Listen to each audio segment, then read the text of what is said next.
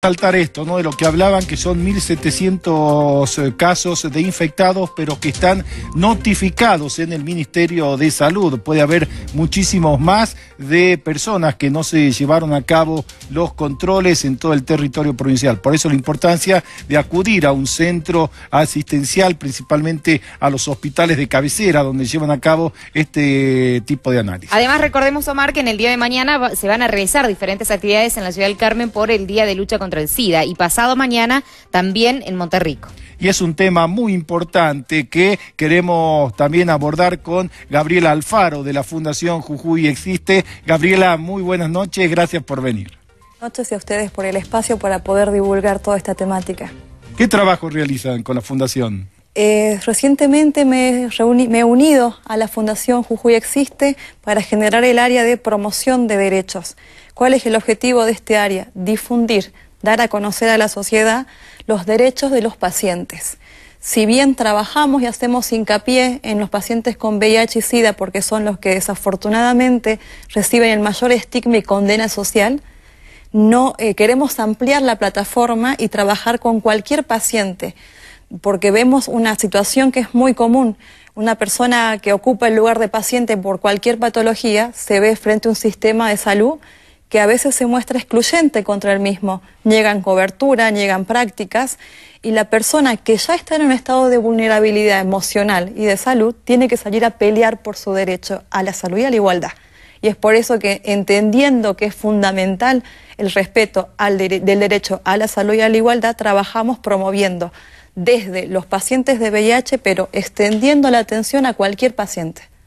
Hablaban de aproximadamente un 30-40% de pacientes que tienen obra social y el resto no cuenta con la misma. Sí, en la Argentina hay aproximadamente 120 mil personas que viven con VIH bajo tratamiento, de las cuales solamente el 70% está a través del sistema público de salud y un 30% nada más a través de obras sociales. ¿Por qué? Porque la persona positiva encuentra muy difícil cabida en el medio laboral por la discriminación, por el estigma y carece de este servicio. Gabriela, ¿cuál es la importancia de que la gente se acerque a hacerse el control pertinente y de poder tener un registro de los casos positivos y de los casos notificados? Hay una nueva estrategia que se ha tratado a través de la ONU-SIDA, de la Organización de Naciones Unidas, que tiene como meta el 90-90-90, que el 90% de la población conozca su diagnóstico que de este 90% la gente haga el tratamiento y que de este 90% estas personas lleguen a cargas indetectables. Teniendo este control de estas proporciones, hasta el 2030 podríamos llegar a detener la pandemia del virus. Por eso es importante estar conscientes si tenemos o no un virus en el cuerpo, conscientes de nuestro diagnóstico y hacer el tratamiento.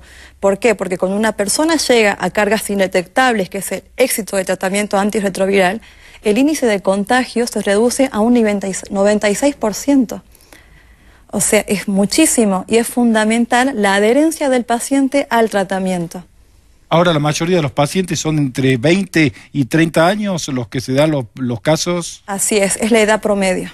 No obstante, sabemos que hay personas de menor edad, ah, también la frangetaria se va extendiendo, hay personas adultas que son sexualmente activas y que también llegan a, desafortunadamente, a adquirir el, el virus en su cuerpo. ¿En qué momento es conveniente realizarnos el examen? ¿Hay algún síntoma que, que nos anticipe o nada? ¿Es silencioso? Es silencioso. No hay, generalmente algunas personas tienen como un resfrío, un catarro fuerte, pero no es un índice grande es tomarlo como hacerme un test del control del colesterol, del control de glucemia, es lo mismo, tendría que ser parte del, del chequeo normal que hacemos cualquier paciente que va con su médico de cabecera. Cuando la enfermedad está avanzada, recién se pueden ver síntomas. Exactamente, y ese es el tema, como es un virus que no va a despertar generalmente o siempre síntomas, uno puede vivir años sin saberlo y transmite.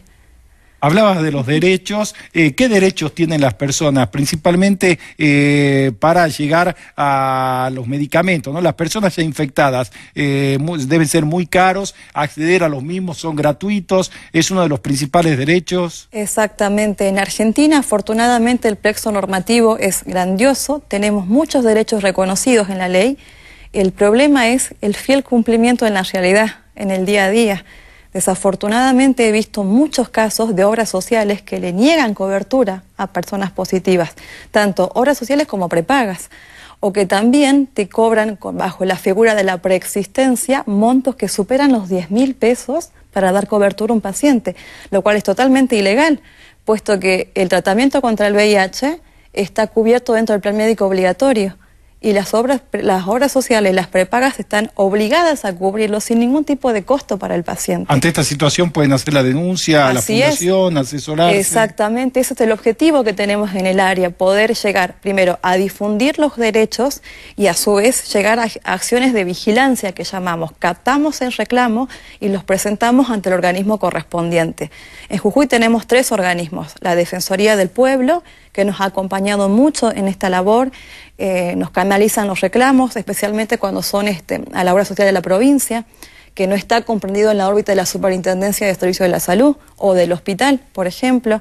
Está el INADI, que interviene contra casos de discriminación, y el órgano principal que entendemos juega un rol muy importante en esto es la Superintendencia de Servicios de la Salud, que es el órgano de control de las obras sociales y las prepagas pero es fundamental esto, la denuncia del paciente. Me negaron cobertura, voy y hago la denuncia. Si uno no lo denuncia, inconscientemente o tácitamente está consintiendo esa discriminación.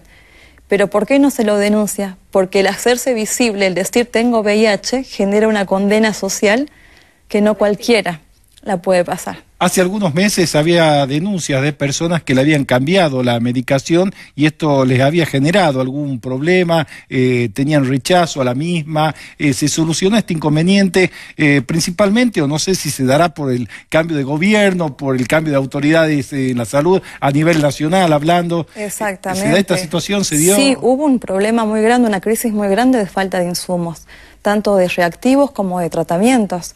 De hecho, hace un par de meses denunció, eh, renunció perdón, el doctor Falistoco, el director del Plan Nacional, decida por la crisis que hubo ante la carencia de reactivos y de tratamientos. Se hicieron compras de último momento de medicación que tenemos conocimiento de casos de que los efectos adversos han sido mucho más fuertes que en, en los otros tipos de tratamientos. Pero bueno, hay, hay decisiones que nos exceden y que a veces la persona que termina pagando, dicho mal y pronto, es el paciente.